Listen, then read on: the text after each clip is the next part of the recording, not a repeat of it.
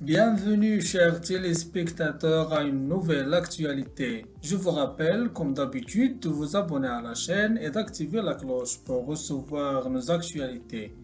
La réaction et la rente d'Ethan Mbappé.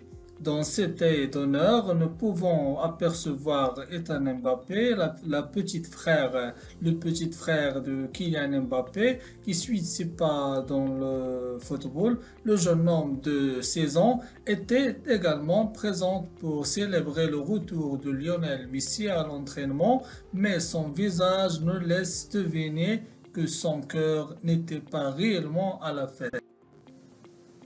En effet, des internautes ont pris une capture d'écran dans laquelle Ethan Mbappé regarde avec insistance l'attaquant argentin sans un sourire et un visage crispé. Cette action, cette réaction et la rente a beaucoup fait réagir les internautes sur Twitter. Regardez.